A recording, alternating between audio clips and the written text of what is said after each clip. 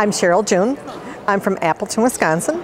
I wanted to um, go back to school and I was going to bring it up and then cancer came up. And I thought it best to take care of myself for a while. And as I think back the treatment and everything that I did, it, that was the best decision for me, is to get myself healthy. And after I started to feel better, I wanted to pursue my goal to finish my bachelor's degree. And then with that, I'm going to change careers too as well. So I'm taking on a lot.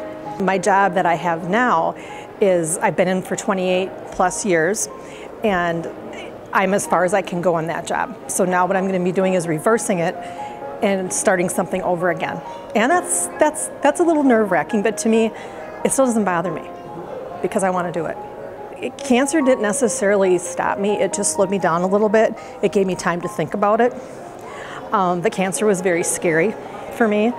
I, you know, one never sees that coming.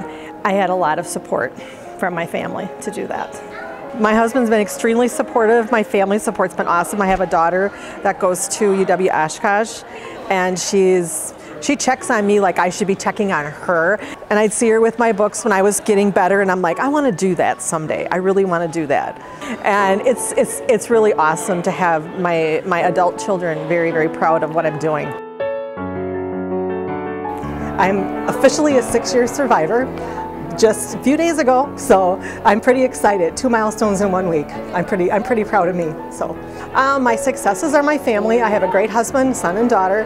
They have helped me. They listened to me. I looked into Green Bay, and I was embraced from the minute I came.